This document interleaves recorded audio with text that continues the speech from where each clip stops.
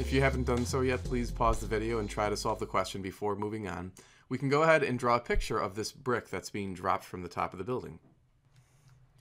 So as the question states, the brick initially begins at the very top of the building, 150 meters off the ground, and then we're asked to calculate the final velocity of the brick when it is 50 meters above the ground. Notice that the initial velocity of the brick is going to be 0 meters per second since the brick is dropped.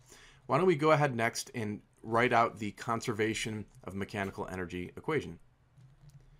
So on the left side, we have the final kinetic energy plus the final potential energy. We've put a little g on the potential energy to remind ourselves that it is gravitational potential energy specifically. And then we set that equal to the initial kinetic energy and the initial gravitational potential energy. Now, since the brick has an initial velocity of 0 meters per second, that means its initial kinetic energy is 0. It's not moving, so there will be no kinetic energy.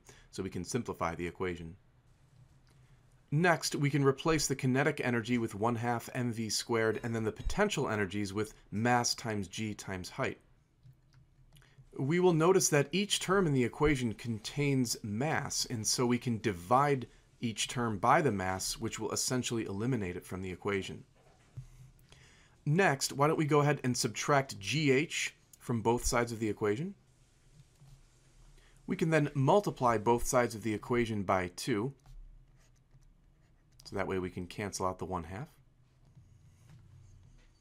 Now, on the right side, since we have g both here and here, we can actually factor it out. And then finally, we can take the square root of both sides of the equation so that we can isolate v.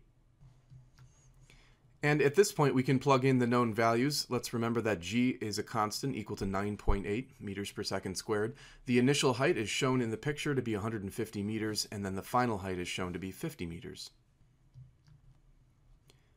And when you simplify that on your calculator, you should get approximately 44.3.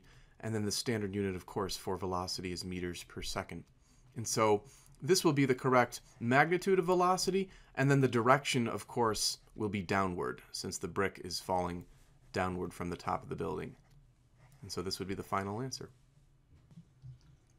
Thanks for taking the time to watch the video. If you liked it, please click the thumbs up icon. Also subscribe to the channel so you can stay tuned for additional videos. Remember, you can send in your own question to this email address and I'll do my best to respond to it on YouTube.